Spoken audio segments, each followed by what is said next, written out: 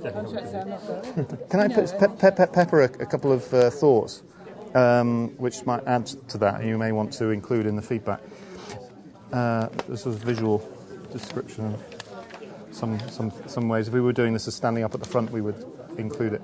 Which is just relating to this thing about control. If you look at number two, uh, this be top when you can, it's like, okay, we're in the middle. There's a question of should we lead on this or should we, positionally, should we go back to the top to check it out? Door A response often will be, of course, on everything, on more, most everything, we've got to go back to the top. But the question is, it's not like has somebody given us control, but do we take leadership? So if we use a different word rather than control, like, can I be responsibility for this? So I just take it. And there are lots of areas which are grey. You know, it's not clear whether it's our responsibility. And Oshry's sense is the reflex response will get us to push it back up and know when we should be top.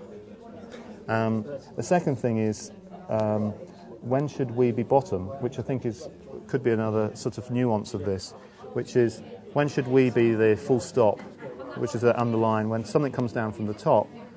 When should we be a, a sort of barrier to saying, actually, this is not going to play out well at all in the organisation, and I do have a perspective on it, and how do we have a conversation with a top that's very pressured at that point, but be a very useful bottom? Hmm. That we don't just be a sewer pipe and just let it go straight down. We're not just a conduit.